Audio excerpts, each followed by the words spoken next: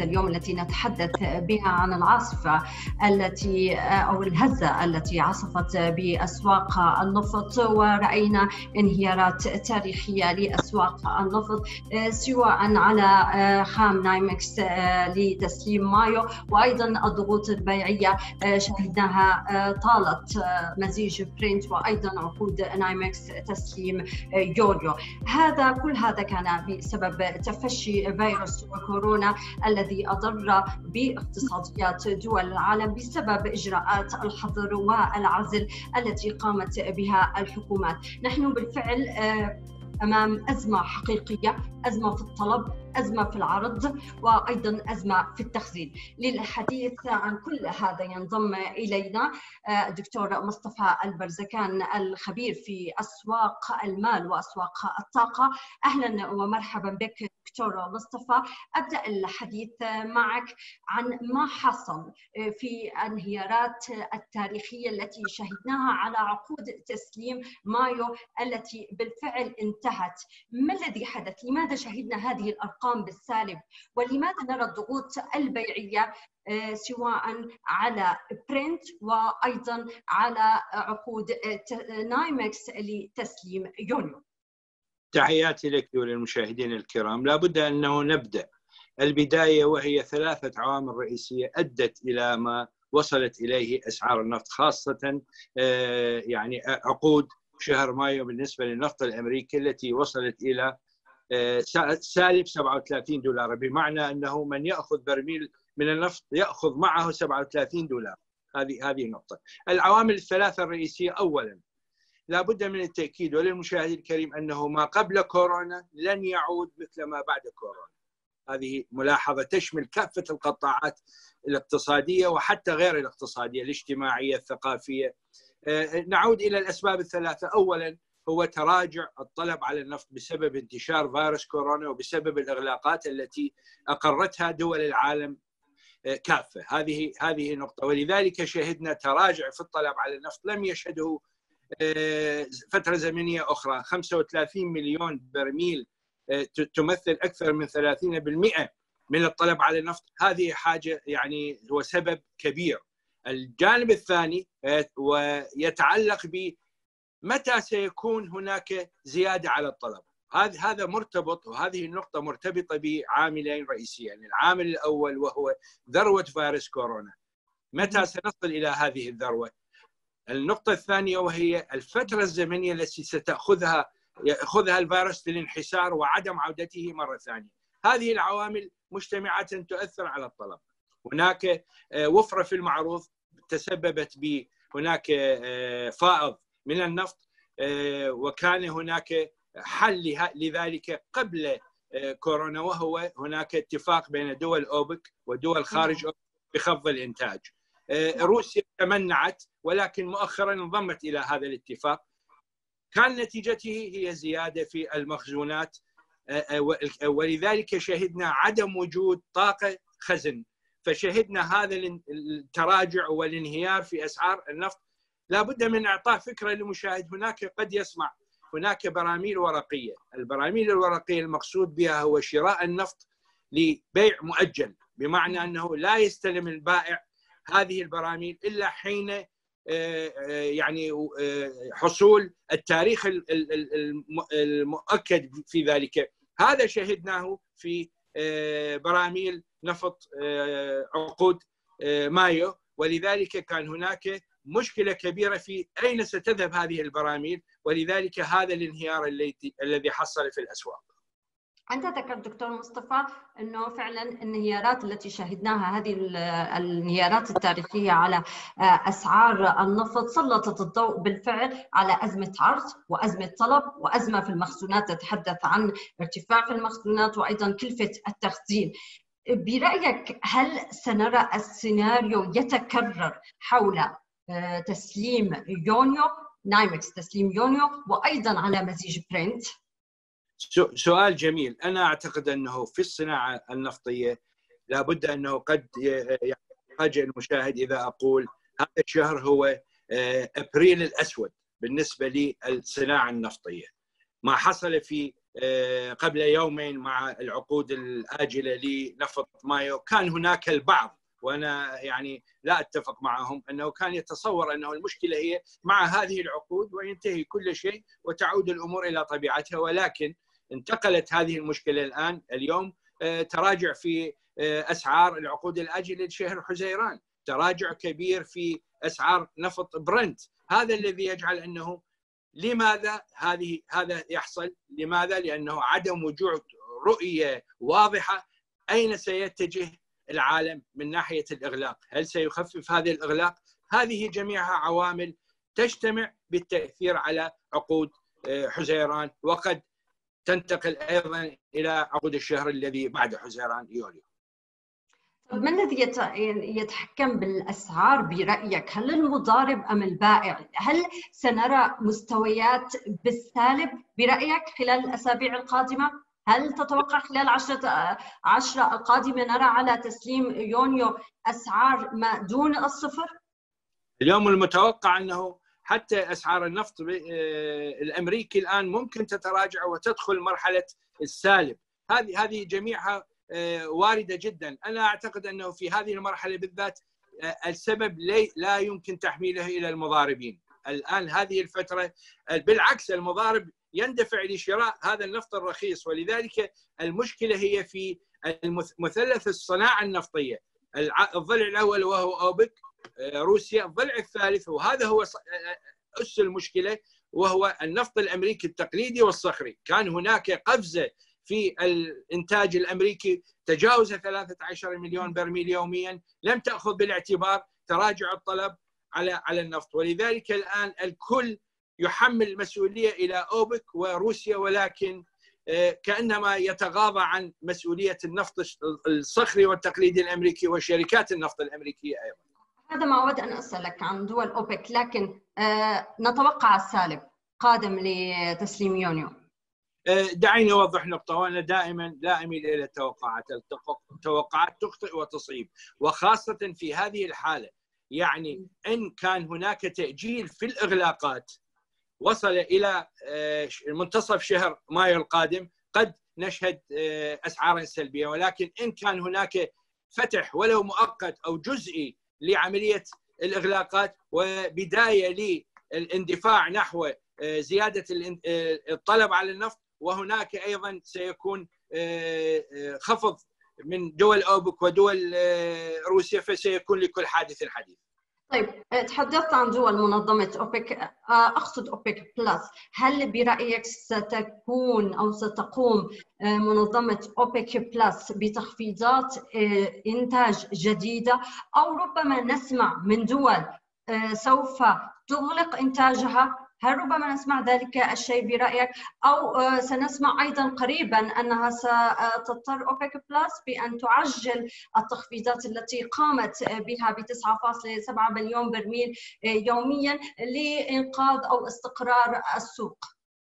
آه، أنا أتفق مع النظرة أنه دول أوبك لابد أن تأخذها بالتدريج. الخطوة الأولى أنا أتوقعها قد يكون تقريب موعد الخفض الذي تم الاتفاق عليه بين أوبك ودول خارج أوبك. تم الاتفاق على موعد هو الأول من مايو. قد يكون هناك حاجة لتقريب هذا الموعد خلال الأيام اليومين القادمين. هذه نقطة. سترى وستتابع الأسواق منظمة أوبك. إن كان هناك حاجة قد تقرر خفض تعميق خفض الإنتاج. ولكن هناك نقطة أساسية لا بد من التأشير عليها وهي نعم. هناك حدود لهذه الخفض. لا يمكن أنه آه، تخفض اوبك وروسيا آه، كميات كبيرة ونشاهد النفط الأمريكي والنفط الصخري والتقليدي آه، في في ذات المستويات التي تسببت في هذه الأزمة. لابد من شروع وبداية لحوار حوار بناء بين كافة منتجي النفط بدون استثناء. أوبك دول خارج أوبك والولايات المتحدة الأمريكية وشركائها سواء كندا المكسيك. إن تمكن العالم من التوصل إلى هكذا حوار سيكون هناك نتيجة وإلا سنواصل آه، تراجع أسعار النفط، لماذا؟ لأنه تراجع الطلب بحدود 30 35 مليون يحتاج خاصة مع ملء المخزون لا بد من يحتاج إلى خفض ما لا يقل عن 20 مليون برميل وهذا نعتقد خارج استطاعة وقابلية دول أوبك تخفيضات إضافية. دكتور مصطفى من قبل خارج أوبك بلس يجب أن يكون التخفيضات. لا نستطيع دول معينة أن تقوم بتوقيف إنتاجها. بالنسبة إلى هذه حالة بعيدة الواقع. يعني ربما لم تحصل يعني. ربما لم تحصل آه، منذ عقود أو لأول مرة تاريخيا.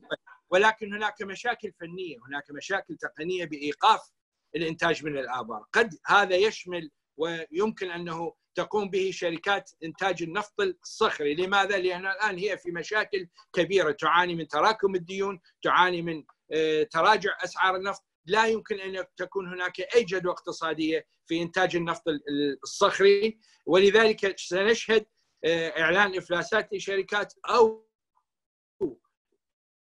الإنتاف للإنتاج، أما بالنسبة لآبار المنتجة في دول آه، عديدة ستكون هناك ليست خسائر ولكن هناك أيضا آه، تدمير لبعض الآبار إن توقف الإنتاج. طيب دكتور آه، مصطفى ذكرت شركات النفط الصخري، نحن نعلم أن شركات النفط الصخري هي شركات خاصة ليست شركات حكومية كروسيا والسعودية، هل نستطيع الضغط على أو تستطيع الولايات المتحدة الأمريكية الضغط على الشركات النفطية آه، آه، لتضغط عليها بتخفيض إنتاجها لإنقاذ الصناعة النفطية؟ برأيك؟ هل ممكن أن يحصل ذلك؟ أنا أنا أعتقد مصلحة العالم يعني تتطلب ذلك، صحيح. خاصة الرئيس ترامب يتحجج أنه لا يمكن الضغط على شركات النفط التقليدي والصخري كلها شركات خاصة ولكن حينما يكون هناك مصلحة عامة لماذا في ذات الوقت الرئيس ترامب يضغط ويحمل مسؤولية منظمة أوبك وروسيا والمنتجين من خارج المنظمة؟ لابد أنه يقوم بخفض الإنتاج. لماذا لا تقوم الشركات الأمريكية بذلك؟ أنا أعتقد إن لم تكن هذه الشركات تقوم بذلك بصورة طوعية فستقوم بصورة إجبارية. لماذا؟ لأن الظروف التقنية والمالية ستجبرها على خفض الإنتاج. نعم. نعم دكتور مصطفى ربما الصورة غير واضحة. لو تكرمت صورتك لم تظهر لدي. نعم الآن نعم. آه، آه، دكتور آه، مصطفى دعنا نتحدث عن تلك المستودعات العائمة في البحار والسواحل. السفن ناقلات السفن التي لديها أو مليئة بالنفط. برأيك من الذي سيشتري النفط؟ من هي الدولة الأقوى اقتصاديا؟ هل ممكن الصين أن تلعب هذا اللاعب أو تكون اللاعب الرئيسي في امتصاص الفائض؟ أم برأيك لا يوجد رابح والكل خاسر؟ دعيني أوضح نقطة أنه قبل أزمة كورونا كان هناك أزمة آه، في آه، يعني شركات نقل النفط في إمكانية تأجير ناقلاتها. يعني وصل آه، ناقل ناقلة نفط عملاقة تنقل مليونين برميل كلفة إيجارها يوميا 32 ألف دولار.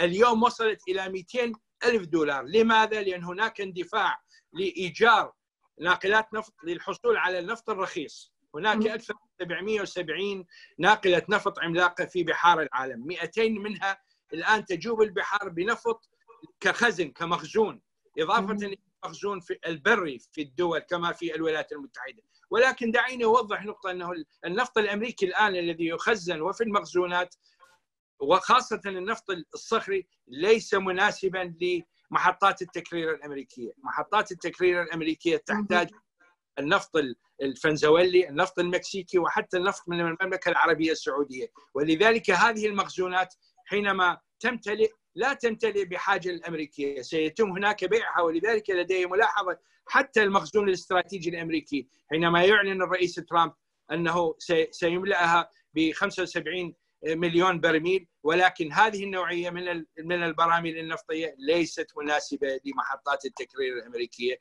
ولذلك هذه تثير لدينا آه، أسئلة واستفسارات عن ماهيه آه، هذه الاحتياطيات النفطية. بالنسبة إلى الصين تحاول جاهدة الحصول على النفط الرخيص وزيادة احتياطيها ولكن آه، لا بد من إدارة عجلة الاقتصاد الصيني للاستفادة من هذه الاحتياطيات وزيادة مستورداتها من النفط طيب من من الذي سيدفع الثمن برأيك؟ من هو؟ العالم كل كل دول العالم ستدفع الثمن اجلا أم اجلا، لماذا؟ لأن هذه أزمة لم يشهدها العالم ابدا. أزمة عام 2008 شملت المصارف القطاع المصرفي والمؤسسات المالية، اليوم هي هي أزمة اقتصادية، أزمة مالية، أزمة سياسية وأزمة صحية على مستوى العالم. الكل سيدفع الثمن آه، لهذه الأزمة لحين آه، ظهور علامات على بداية الحل وسنشهد أنه هذه التأثيرات لن تنتهي خلال شهرين ثلاثة أو مع نهاية هذا هذا العام ستأخذ فترة أطول. طيب الكورونا بما ذكرت جائحة الكورونا التي آه، ربما مثل المكبس التي أثرت بشكل كبير آه، على اقتصاديات دول العالم وخاصة شهدنا على أسعار النفط التي تضررت بشكل آه، كبير من جراء هذا الوباء. من خلال وجهة نظرك ربما نرى سيناريوهات من خامات أو سلع أخرى آه، مثل الذهب مثل الفضة أن يتكرر أو نشاهد انهيار آه، للعملات. هل تتوقع أن المنظومة الاقتصادية قد تغيرت؟ ماذا تتوقع لمرحلة المنظومة الاقتصادية؟ نعم بالتأكيد كما قلت في بداية حديثي قبل ما قبل كورونا لن يكون مشابه لما بعد كورونا. ولكن أنت ذكرتي الذهب. هناك آه، ملاذات آمنة. الذهب يعتبر أحدها. هناك بعض العملات الرئيسية تكون ملاذات آمنة.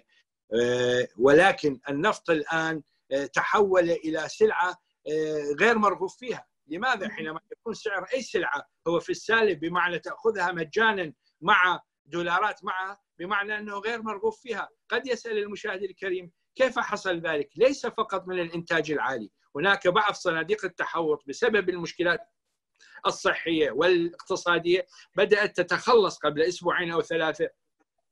تتخلص من ما ما ما لديها من آه، ما يطلق عليه براميل ورقية. ولذلك شهدنا هذا التراجع الكبير.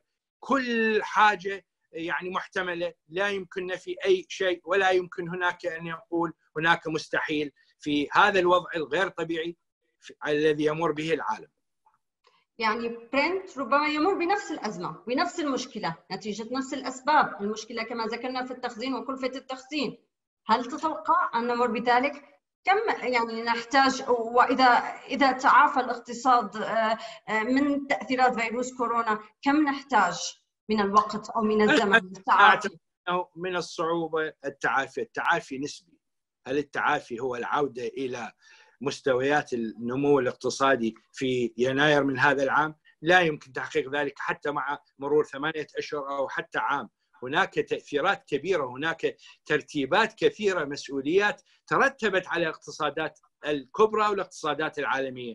هناك ديون ستتراكم. المديونية العالمية سترتفع بالتأكيد وهناك المديونيات للدول المتقدمة. ولذلك أنا أعتقد أنه اليوم من السابق لأوانه تحديد ماهية النتائج السلبية التي سيخرج بها الاقتصاد العالمي والاقتصادات الأخرى، لماذا؟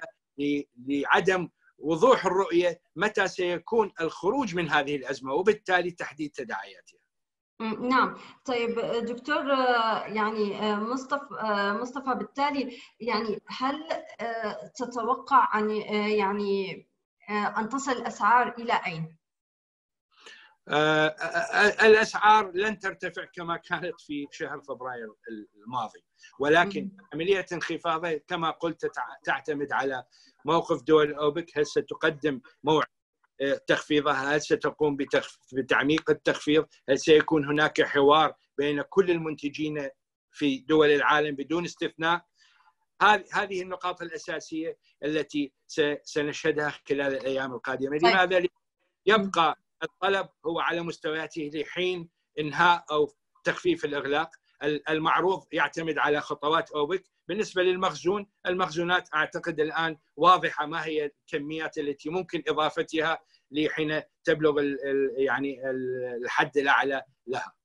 طيب دكتور مصطفى بالنسبة للقطاعات المرتبطة بالنفط آه، سواء ايجابا أو سلبا كيف ستتأثر؟ طبعا لو ومن هي هذه القطاعات؟ لو كان لو كان هذا السعر للنفط في أوضاع طبيعية لكان من فائدة آه، شركات الطيران لكان من فائدة سائقي السيارات لكان من فائدة المصانع. ولكن حينما الاقتصاد متوقف هذه الأسعار لا تفيد احدا. صحيح قد تفيد من يشتري بهذه الأسعار المنخفضة قامت الصين بذلك قامت بعض الدول بذلك ولكن حينما ننظر للاقتصاد كنظرة كلية أنا أعتقد أنه الجميع الآن متأثر سلبا بهذه بهذه الأزمة سواء أزمة صحية، أزمة اقتصادية، أزمة مالية وهذه الأسعار المنهارة لأسعار النفط. أنا أعتقد أنه آه، لا يوجد هناك يمكن تحديده هناك تأثير إيجابي بسبب المضاربة؟ لا لا لا بسبب لا لا بسبب بسبب أنه توقف الطلب على النفط يعني ليس هناك طلب. يعني حينما لكن يكون الذي يتحكم بالأسعار هل تلعب دور؟ من يتحكم بالأسعار؟ الآن التحكم بالأسعار هو الطلب. الطلب والعرض. كورونا بمعنى كورونا العرض قد تتحكم به منظمة أوبك ودول خارج أوبك والعامل الرئيسي هو هو كورونا. متى سينحسر متى سيصل إلى الذروة؟ هذه هي الأسئلة التي قد تكون غير معتادة ولكن هذه هي الأسئلة الحقيقية على أرض الواقع. اليوم دكتور مصطفى بالفعل نحن أمام أزمة حقيقية نتيجة تفشي هذا الفيروس فيروس كورونا سبب بالفعل أزمة حقيقية. كما تحدثت عن أزمة في الطلب، أزمة في العرض، أزمة في المخزونات، يجب تكاتف من جميع العالم أو دول العالم بأسره لإحداث شيء لانقاذ الأسعار سواء من تخفيضات إضافية للنفط أو توقف. ربما ربما يكون الأول من نوعه آه، للإنتاج. دكتور مصطفى البرزكان شكرا جزيلا لك وأشكر انضمامك معنا. تحية لكم مشاهدينا وإلى اللقاء.